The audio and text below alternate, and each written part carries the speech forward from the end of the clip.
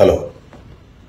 Republic movie సందర్భంలో కళ్యాణ్ బాబు టికెట్ల విషయంలో టికెట్ల రేట్ల విషయంలో ప్రభుత్వం తీసుకున్న కొన్ని నిర్ణయాల్ని బాహాటంగా విమర్శించారు. అంటే వకీల్ సాబ్ నుంచి ఈ మధ్యన జరుగుతున్న సంఘటనలు దాకా ప్రభుత్వం వ్యక్తిగతమైనటువంటి కక్షతోటి ఇలాంటి నిర్ణయాలు తీసుకుందని మనందరికీ క్లియర్ కట్గా అర్థమవుతుంది. ఆ రోజు కళ్యాణ్ బాబు రిపబ్లిక్ ఫంక్షన్లో గవర్నమెంట్ యొక్క టికెట్ల విధానాన్ని చాలా తీవ్ర స్థాయిలో విమర్శించారు. ఆ సందర్భంగా కళ్యాణ్ బాబు ఒక మాట అన్నారు. మీకు నా మీద కోపం ఉంటే నా మీద తెచ్చుకోండి. అంతేగాని ఇండస్ట్రీని మీ విధానాలతో ఇబ్బంది పెట్టకండి అని చాలా ఓపెన్గా మాట్లాడితే చాలా విమర్శలు వచ్చినాయి ప్రభుత్వం దగ్గర నుంచి. ప్రభుత్వ ప్రభుత్వానికి సంబంధించినటువంటి మినిస్టర్ల దగ్గర నుంచి ఇతర కార్యకర్తల దగ్గర నుంచి ఈవెన్ ఫిల్మ్ ఇండస్ట్రీ నుంచి కూడా చాలా విమర్శలు వచ్చినాయి. Okay it's it's part of the game అయితే ఈ టికెట్ల విధానం వల్ల చాలా నష్టాలు జరుగుతున్నాయని గ్రహించినటువంటి పెద్దలు ఒక రిప్రజెంటేషన్ తీసుకుని జగన్ దగ్గరికి వెళ్ళారు. ఆయన చాలా సానుకూలంగా స్పందించినట్టు చెప్పారు. త్వరలో జీవో తీసుకొస్తా ఉన్నారు. ఇరవై లోపల జీవో తీసుకొస్తా ఉన్నారు. తీసుకురాలేదు. కళ్యాణ్ బాబు సినిమా ఇరవై ఐదు అనౌన్స్ చేసిన తర్వాత జీవోని కొంచెం డిలే చేసి వాళ్ళ పాత అంటే ఏదైతే తక్కువ రేట్లకి టికెట్లు అమ్మాలి అని నిర్ణయం తీసుకున్నారో ఆ నిర్ణయం తీసుకున్న జీవోని ఇప్పుడు అమలుపరుస్తున్నారు. దీన్ని బట్టి మేము క్లియర్ కట్గా అర్థం చేసుకుంది ఏంటంటే జగన్ రెడ్డి గారి ప్రభుత్వానికి సినిమా ఇండస్ట్రీతో పాటు సినిమా ఇండస్ట్రీ కాకుండా పవన్ కళ్యాణ్ అనే వ్యక్తి టార్గెట్ అయ్యారని మాకు క్లియర్ కట్గా అర్థమైంది. అలాగే అర్థం చేసుకోవాల్సి వస్తుంది ప్రస్తుత పరిస్థితుల్లో. అయితే ఇక్కడ ఒక ఐదేళ్ళ పాటు ప్రభుత్వాన్ని ప్రజలు మీకు అప్పచెప్పినప్పుడు మీరు తీసుకునే నిర్ణయాలు నష్టాలు కలిగించినా కష్టాలు కలిగించినా భరించాలి. తప్పదు. అయితే ఒక విషయం వైసీపీ ప్రభుత్వం గుర్తించాల్సింది ఏంటంటే ఇది ఐదేళ్ళే. ఐదేళ్ళ తర్వాత మళ్ళీ మీరు ప్రజాక్షేత్రం నిలబడి ప్రజల విశ్వాసాన్ని చూరగొని మళ్ళీ అధికారం ఎక్కాలి తప్ప మళ్ళీ అధికారాన్ని చేపట్టాలి తప్ప ఇది శాశ్వతంగా మీకు ఇచ్చినటువంటి పదవి కాదు. అంటే చైనాలో జిన్పింగ్కి రష్యాలో పుటిన్కి ఉత్తర కొరియాలో కిమ్ జాంగ్ ఉన్కి ఇచ్చినట్టు ఇవ్వలేదు మీకు. ఐదేళ్ళే. సరే మన అదృష్టం ఏంటంటే మీలాంటి నాయకులు శాశ్వతంగా నియంత్రణగా ఉండటానికి మీ దురదృష్టం ఏంటో మన భారతదేశంలో అవకాశం లేదు. ఎందుకంటే మనది డెమోక్రటిక్ ప్రభుత్వం.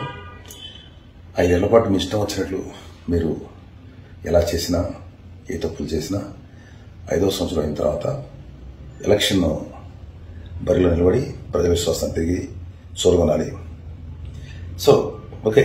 ఇక్కడ నేను మిమ్మల్ని ఉద్దేశించో మీ ప్రభుత్వం ఉద్దేశించో మాట్లాడటానికి కాదు. ఇంత అన్యాయం పవన్ కళ్యాణ్ అనేటువంటి ఒక హీరోకి అతని సినిమా మీద పగబెట్టి చేస్తుంటే సినిమా ఇండస్ట్రీ నుంచి ఒకటో రెండో మాటలు తప్ప పెద్దవాళ్ళు ఎవరు ఒక్క మాట కూడా కళ్యాణ్ బాబు సపోర్ట్గా మాట్లాడలేకపోవటం నిజంగా చాలా దురదృష్టం. జస్ట్ ఇది కరెక్ట్ కాదు అని ఒక ట్వీట్ కానీ ఇది కరెక్ట్గా లేదు అనే ఒక మాట కానీ ఎవరు చెప్పలేకపోయారు. ఒకళ్ళిద్దరు చెప్పారు.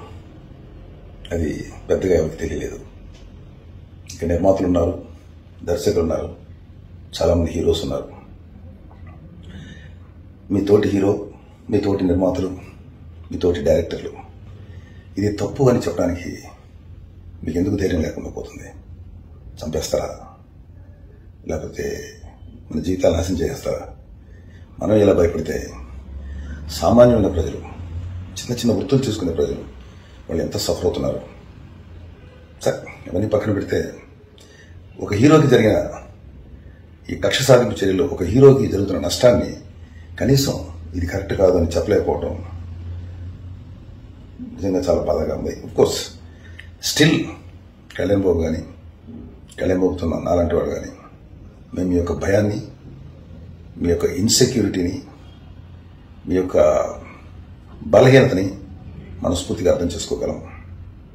మీరెవ్వరూ పవన్ కళ్యాణ్కి నిలబడాల్సిన అవసరం లేదు. బట్ మీరందరూ గుర్తుపెట్టుకోవాల్సిన విషయం ఏంటంటే రిపబ్లిక్ సినిమా ఫంక్షన్లో కళ్యాణ్ బాబు చెప్పిన మాట ఏదన్నా ఉంటే నా మీద తీర్చుకోండి. సినిమా ఇండస్ట్రీ మీద కాదు అన్నప్పుడు చాలా కరెక్ట్గా కళ్యాణ్ బాబు మీదే తీర్చుకుంటున్నారు వాళ్ళకున్న పగ. No problem. ఇండస్ట్రీ తరఫున మీరు ఎవరు ఒక్క మాట కూడా మాట్లాడలేకపోవటం. చాలా దురదృష్టం. Still we can understand you ఇండస్ట్రీలో ప్రతి వారిని చేసుకోగలం. అయితే ఒక మాట చెప్తున్నాను. ఇదే సమస్య. అంటే ఇవాళ ఇంకొక విషయం చెప్పాలి. భీమలా నాయక్ చాలా పెద్ద హిట్. మ్యాసివ్ హిట్ అయింది కాబట్టి ప్రజలు అవుట్ ఆఫ్ ది వేలో కళ్యాణ్ బాబు అభిమానులు కానీ జన సైనిక్స్ కానీ కళ్యాణ్ బాబు కళ్యాణ్ బాబుని అభిమానించే కోటాను కోట్ల మంది ప్రజలు కానీ ఈ సినిమాని ఆదరించారు. కాబట్టి సరిపోయింది. అదే ఈ సినిమా దెబ్బతిని ఉంటే యాక్చువల్ కళ్యాణ్ నష్టం వచ్చేది ఏం కాదు. నిర్మాత నాశనం అయిపోయేవాడు. డిస్ట్రిబ్యూటర్ నాశనం అయిపోయేవాడు. ఎగ్జిబ్యూటర్స్ నాశనం అయిపోయేవాడు ఒక మంచి నిర్మాత సినిమా తీయకుండా వెనక్కి అయిపోయి ఎంతోమందికి జీవనాధారం కావాల్సిన వాడు నాశనం అయిపోయేవాడు. అదృష్టం కొద్ది సినిమా పెద్ద హిట్ అయింది. ఓకే ఈ సినిమా హిట్ గురించి కానీ ఎంత గొప్పగా కలెక్ట్ చేస్తుంది ఎంత పెద్ద హిట్ అని చెప్పలేదు కానీ మీ అందరికీ ఎస్పెషల్లీ మన ఫిల్మ్ ఇండస్ట్రీ పీపుల్ అందరికీ ఒక సినిమా ఇండస్ట్రీ మనిషిగా మీ అందరికీ చెప్తున్నాను. మీ ఇండస్ట్రీలో మీకు కనుక భవిష్యత్తులో ఇలాంటి సమస్యలు ఏ ప్రభుత్వం ద్వారా వస్తే ఖచ్చితంగా మీకోసం మేము నిలబడతాం. మీకు మా సంపూర్ణ సహకారం అందిస్తాం. మీరు అందించకపోయినా పర్లేదు. మేమైతే భయపడం సో మీలో ఎవరికైనా ఏ హీరోకైనా ఏ నిర్మాతకైనా ఏ దర్శకుడికైనా ఇలాంటి పరిస్థితి వచ్చినప్పుడు మేము నేను కానీ ముఖ్యంగా మా తమ్ముడు పవన్ కళ్యాణ్ కానీ మీకోసం మనస్ఫూర్తిగా నిలబడతాం. మీకోసం మా గళం విప్పుతాం. మీకు మా సంపూర్ణమైనటువంటి సహకారం అందించడానికి ముందుగా ఉంటాం. మీరు మమ్మల్ని వదిలేసిన మా యొక్క సపోర్ట్ మా యొక్క సహకారం మీకు ఎప్పుడూ ఉంటాయి. Thank you, my dear uh, fellow filmy people. Thank you very much.